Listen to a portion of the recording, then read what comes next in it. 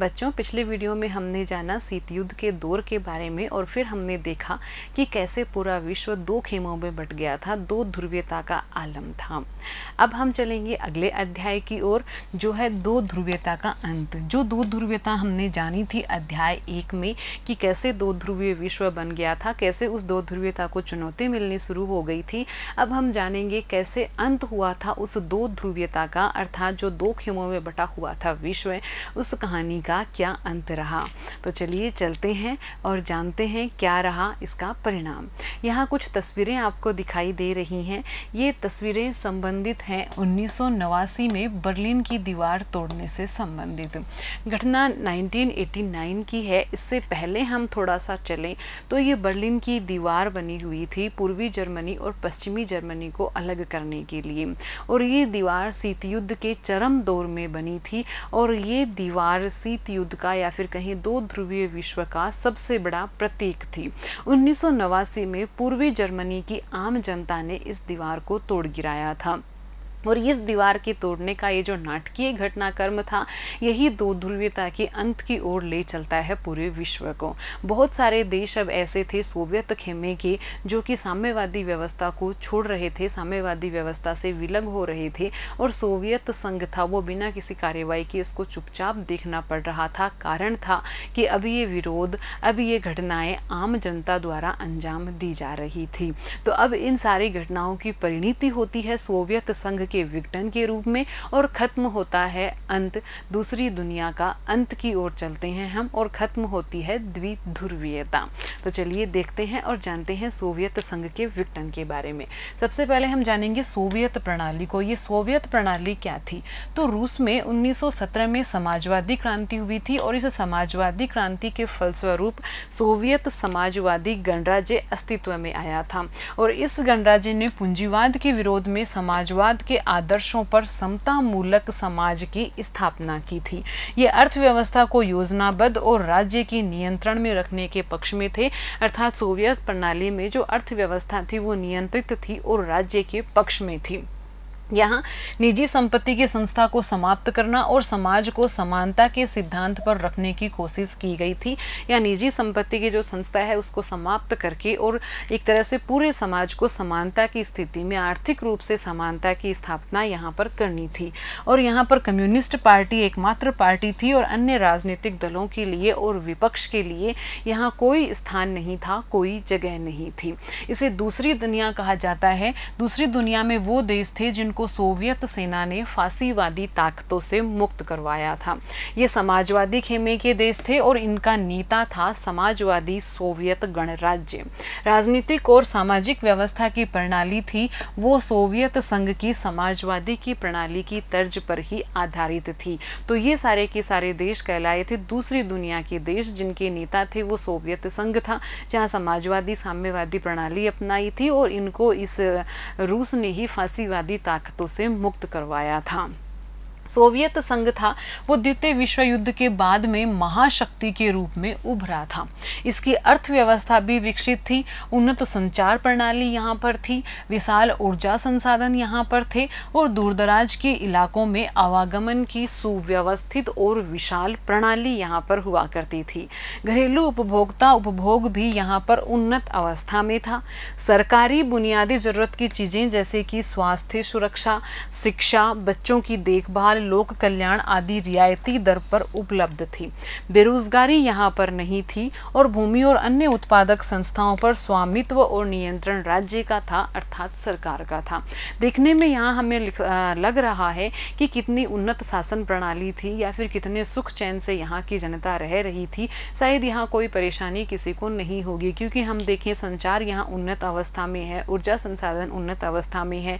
सरकारी बात करें कार्य जैसे कि शिक्षा है चिकित्सा चिकित्सा है, लोक कल्याण के कार्य हैं तो वो भी सरकार द्वारा अच्छे से किए जा रहे थे। तो फिर क्या आई समस्या, क्या रहे कारण? चलिए जानते हैं समस्याओं के बारे में। तो देखिए, सोवियत संघ की अधिकांश संस्थाओं में सुधार की ज़रूरत आन पड़ी थी। क्यों आन पड़ी थी सुधार की ज़रूरत?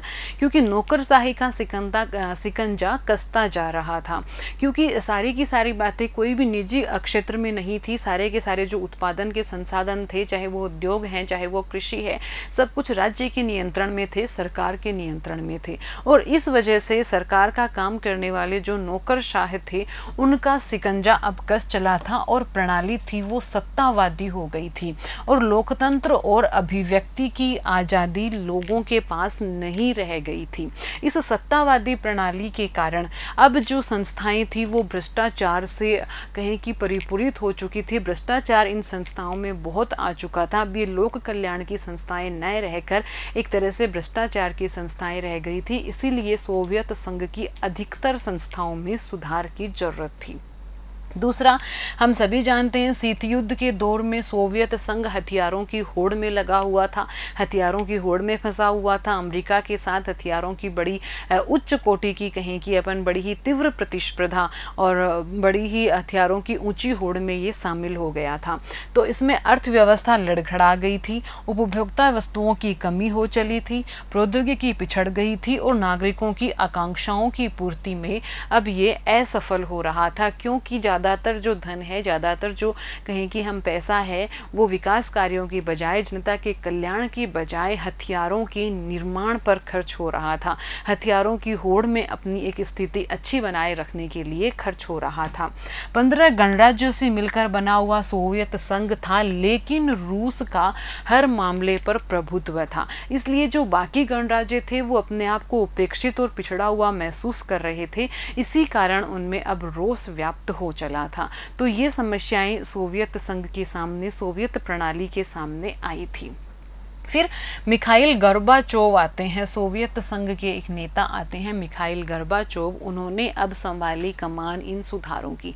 हमने देखा समस्याएँ किस स्तर की थी, आर्थिक स्थिति थी, वो पिछड़ चुकी थी। जनता में रोष था, सारी संस्थाएँ भ्रष्टाचारी हो चुकी थी। लोकतंत्र और अभिव्यक्ति जनता के पास नहीं बची थी।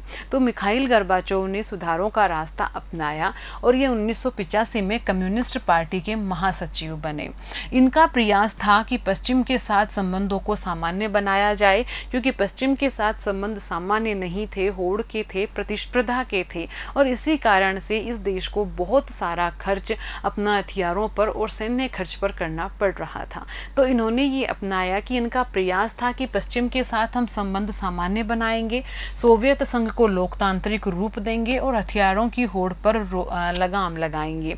और इसलिए ये दो नीति लेकर आए मिखाइल गर्बाचो पेरो स्त्राइका और गलासनो नोस्त। बेरोस्त्राइका जिसको पुनर्रचना भी हम कह सकते हैं, ग्लास नोस्त यानी खुलापन, और ये दोनों नीतियाँ थी, ये आर्थिक और सामाजिक सुधार के लिए अपनाई गई थी। तो क्या इन नीतियों का परिणाम हुआ? क्या इन नीतियों से सोवियत संघ की इन संस्थाओं में सुधार हो पाया? क्या इन नीतियों से सोवियत संघ के संबंध सामान्य बन पाए? देखते हैं। चलिए, इस नीतियों की परिणति किस रूप में हुई? इस नीतियों की परिणतियों में हम सबसे पहले देखेंगे कि पूर्वी यूरोप के देशों की जनता ने सरकारों व सोवियत नियंत्रण का विरोध किया। जो पूर्वी यूरोप की जनता थी, उसने न केवल अपनी सरकारों का, सोवियत संघ का जो नियंत्रण था, उसका भी इन लोगों ने विरोध किया और ये, इस वजह से यहाँ पर साम्यवादी सरकारें गिर गई थी। पूर्वी यूरोप के गणराज्य जो कि सोवियत संघ के थे, सोवियत खेमे में थे, यहाँ पर साम्यवादी सरकारें गिर गई थी, कारण था जनता का विरोध। गोरबाचो की सुधार नीतियों का जो कम्युनिस्ट पार्टी के नेता थे, उन्होंने विरोध किया। और राजनीतिक और सामाजिक व्यवस्था की जो प्रणाली थी, उसको कम्युनिस्ट पार्टी के गर्म पंथियों ने बढ़ावा दिया। और इसलिए तख्ता पलट के विरोध में यल्तसिन ने अपनी महत्वपूर्ण भूमिका निभाई। और इस महत्वपूर्ण भूमिका के कारण यल्तसिन ने रूसी गणराज्य में आम चुनाव जीत लिए थे। और आम चुनाव जीतने के बाद इन्होंने केंद्रीकृत सत्ता को मानने से इनकार कर दिया। खासकर जो यूरोपीकृत गणराज्य थे, यहाँ ऐसा हुआ कि उन्होंने जो केंद्रीकृत सत्ता थी, साम्य वाली शासन प्रणाली थी, सरकार का अर्थव्यवस्था पर केंद्रीकरण था, उसको मानने से इन यूरोपीकृत गणराज्य थे, पूर्वी यूरोप के गणराज्य जो कि सोवियत खेमे में थे, इन्होंने इस व्यवस्था को मानने से इनकार कर दिया था। लेकिन जो मध्य एशियाई गणराज्य थे, उन्होंने अपने लिए स्वतंत्रता की मांग नहीं की। वो सोवियत खेमे के साथ ही, सोवियत संघ के साथ ही रहना चाहते थे। अब देखते हैं सोवियत संघ का विघटन। घटना है उन्नीस सौ इक्यानवे की। यल्तसीन का नेतृत्व था। सोवियत संघ के तीन बड़े गणराज्य, रूस, बेलारूस और यूक्रेन ने घोषणा की कि सोवियत संघ अब समाप्त हो चुका है। अर्थात सोवियत संघ अब खत्म है और जो सोवियत गणराज्य हैं, वो अपने अपने स्वतंत्र हैं कि वो साम्यवादी प्रणाली अपनाते हैं या पूंजीवादी व्यवस्था अपनाते हैं। इसलिए सोवियत गणराज्यों ने पूंजीवाद और लोकतंत्र को अपना आधार बनाया और कम्युनिस्ट पार्टी को इन्होंने प्रतिबंधित कर दिया। स्वतंत्र राज्यों के राष्ट्र कुल का गठन हुआ और मध्य एशियाई जो गणराज्य हैं, इनको इनका संस्थापक राज्य बनाया गया कि मध्य एशियाई गणराज्य हैं, वो उपेक्षित ना रह जाएँ। इसलिए इनको स्वतंत्र राज्यों के राष्ट्र कुल का संस्थापक राष्ट्र बना दिया किया गया। रूस की अगर हम बात करें तो सोवियत संघ का उत्तराधिकारी अब रूस को बनाया गया। सुरक्षा परिषद में जो सोवियत संघ की स्थायी सीट थी, वो रूस को दे दी गई और साथ ही सोवियत संघ ने अंतर्राष्ट्रीय फलक पर जो भी संधियाँ कर रखी थी, जो भी समझौते कर रखे थे, वो सब निभाने की ज़िम्मेदारी अब रूस की थी। अर्थात सोवियत संघ के उत्तराधिकारी के रूप में सोवियत संघ के जो भी कार्य थे, उनका संचालन, उनका जो भी कार्य है, वो अब रूस द्वारा किया जाना था। सोवियत संघ के विघटन के कारण क्या क्या रहे, ये हमें जानने बहुत आवश्यक हैं। क्योंकि हमने शुरुआत में देखा कि यहाँ उन्नत संचार प्रणाली थी और उन्नत ऊर्जा संसाधन थे, सरकारी कार्य भी बहुत अच्छे से हो रहे थे। फिर हमने देखा कि गर्बाचोव ने सुधार के प्रयास भी किए, फिर भी सोवियत संघ का विघटन हो गया। तो आखिर क्या कारण थे सोवियत संघ के विघटन के? तो पहला कारण तो गतिरुद्ध अर्थव्यवस्था को ही हम लेंगे। ये संसाधनों का अधिकांश भाग था वो परमाणु हथियारों पर और सैन्य खर्चों पर हो रहा था। अर्थव्यवस्था का अधिकांश खर्च अधिकांश पैसा जो कि इस देश के पास था, वो सैन्य खर्च पर हो रहा था। हथियार बनाने में हो रहा था, ना कि आम जन के कल्याण में हो रहा था। पूर्वी यूरोप के पिछलग्गू देशों पर भी खर्च हो रहा था, क्योंकि इन देशों को सोवियत खेमे में बनाए रखना आवश्यक था। तो इन देशों की ज़रूरतों को पूरा करने के लिए, इनको खेमे में बनाए रखने के लिए, इन देशों पर भी जो अर्थव्यवस्था थी, उसका खर्चा वहाँ जा रहा रहा था। साथ ही उपभोक्ता वस्तुओं की कमी हो चली थी, किस कारण? यहाँ सारा का सारा पैसा, यहाँ सारा का सारा धन चले जाने के कारण उपभोक्ता वस्तुओं की कमी हो गई और अब जनता थी, वो आशंकित हो गई थी, संदेहास्पद हो गई थी राज व्यवस्था के प्रति। जनता को अब ये लगने लगा था कि जो राज व्यवस्था है, जो उनकी सरकार है, वो जन कल्याण के लिए नहीं, अपितु तो अपनी प्रतिस्पर्धा के लिए, अपनी हथियारों की होड़ के लिए, अपना प्रभाव जमाने के लिए, अपनी शक्ति प्रदर्शन के लिए ज़्यादा काम कर रही है। पश्चिमी मुल्कों के बारे में यहाँ के नागरिक थे, वो जानकारी ले रहे थे। और इसलिए यहाँ के लोगों को पता चल पा रहा था कि पश्चिमी मुल्कों में लोग कितने अच्छे से रह रहे हैं। वहाँ की अर्थव्यवस्था कितनी उन्नत है, वहाँ चिकित्सा सुविधाएँ कितनी उन्नत है, वहाँ लोगों की कहें कि अपन जो जीवन स्तर है, वो कितना अच्छा है। और इस वजह से उनके अच्छे जीवन की जो बातें हैं, वो उन तक पहुँच रही थी और अब वो भी स्वप्न लेने लगे थे कि अगर यहाँ भी पूंजीवादी व्यवस्था होती, अगर यहाँ भी उदार समझदार लोकतंत्र होता तो हमारा भी जीवन स्तर, हमारा भी जीवन उतना ही खुशहाल होता। तो अपनी राज व्यवस्था और पश्चिमी राज व्यवस्था के अंतर को वो समझ रहे थे और उन्हें पता चल रहा था कि उनकी राज व्यवस्था है, वो पिछड़ी है और कमज़ोर है। साथ ही जो शासन का प्रशासनिक और राजनीतिक रूप था, उसमें भी गतिरोध था, क्योंकि जो कम्युनिस्ट पार्टी थी, वो जनता के प्रति जवाबदेह नहीं रह गई थी। इस पार्टी में अब खुलापन नहीं रह गया था, यहाँ अभिव्यक्ति की आज़ादी नहीं रह गई थी। पार्टी के अधिकारियों में थे, जो अधिकारी थे, उनको आम जनता से ज़्यादा विशेषाधिकार प्राप्त थे। उनको आम जनता की तुलना में ज़्यादा अच्छे अधिकार दिए गए थे, ज़्यादा उनको लाभ दिए गए थे। साथ ही गतिरोध प्रशासन था गतिरुद्ध प्रशासन भारी भ्रष्टाचार यहाँ पर था और गलतियाँ सुधारने में अक्षमता थी। तो देखा हमने, चाहे वो आर्थिक कारण है, प्रशासनिक कारण है, जनता की जागरूकता है, सोवियत संघ के विघटन में बहुत सारे कारण हमारे सामने आए। आए लेकिन कारण अभी और भी बाकी हैं। और कारणों को हम देखें तो गर्बाचोव के कारण को भी गर्बाचेव के कारण को भी विघटन का कारण माना जाता है कि सोवियत संघ के विघटन में गर्बाचेव ने भी एक, जो उनकी, कहीं की नीतियाँ वो लेकर आए थे, उन्होंने उनके विघटन में और भूमिका निभाई। यानी कि सोवियत संघ के विघटन का कारण बनी गोरबाचेव की नीतियाँ। कैसे बनी? इस बारे में दो सोच हैं। पहली सोच तो ये है कि गर्बाचोव की पद्धति थी, वो धीमी कार्य पद्धति थी और इसलिए निराश जनता है, वो धीरज खो बैठी। मतलब कि जनता इंतज़ार नहीं कर पाई उन नीतियों का जो परिणाम है उसके आने का। साथ ही कम्युनिस्ट पार्टी और सोवियत व्यवस्था से फ़ायदे में रहने वाले जो लोग थे, वो कह रहे थे कि गोरबाचेव हैं, वो जल्दबाजी दिखा रहे हैं। क्योंकि जो कम्युनिस्ट पार्टी थी, उसकी नीतियों की वजह से बहुत सारे लोग थे, वो फ़ायदे में थे, उनको फ़ायदा पहुँच रहा था, उनके हित साधन हो रहा था।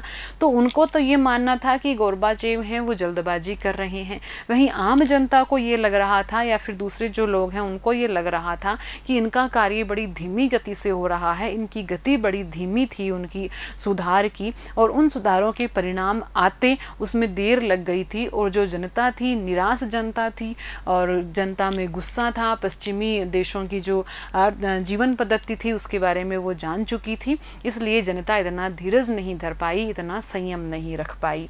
और साथ ही हर तरफ़ से समर्थन हम देख रहे हैं कि गोरबाचेव का जाता रहा। दोनों ही तरफ़ से उनकी आलोचनाएँ हुई, क्योंकि वो लोगों का मुँह भंग धारणा थी कि गोरबाचौथ थे वो खुद ही अपनी नीतियों का बचाव नहीं कर पा रहे थे। अर्थव्यवस्था को सुधारने के प्रयास जब हम देखते हैं तो उन्होंने प्रशासनिक सांचे में ढील दी और अर्थव्यवस्था को सुधारने के प्रयास किए। लेकिन जनता की जो अपेक्षाएँ थी, जो आकांक्षाएँ थी, उनके ज्वार भाटे को काबू पर पाना असंभव हो गया था। जैसे ही गोरबाचेव ने सुधार की बात की, प्रशासन में ढील दी, अर्थव्यवस्था में सुधार की बात की तो जनता जो आकांक्षाओं से भरी पड़ी थी। इतने दिनों से जो कहें कि त्रस्त थी, परेशान थी, उनकी भावनाओं का जो ज्वार आया, उस ज्वार भाटे को ये प्रशासन, ये नीतियाँ संभाल नहीं पाई थी।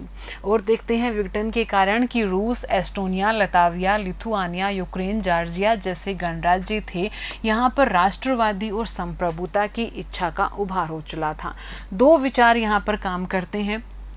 एक विचार तो ये है कि जो गौरबाचेव ने सुधार की प्रणाली लेकर आए, इसकी वजह से सोवियत संघ का विघटन हुआ। लेकिन दूसरा विचार ये कहता है कि अगर ये सुधार ना भी होते तो भी अंदरूनी संघर्ष तो होना ही था, क्योंकि राष्ट्रीयता की भावना और तड़प सोवियत संघ के इतिहास में जारी थी। अगर वो सुधार के प्रयास ना भी होते, प्रशासन में ढील ना भी दी जाती तो भी अंदरूनी संघर्ष होते, आज़ादी की मांग की जाती और सोवियत संघ का विघटन होता।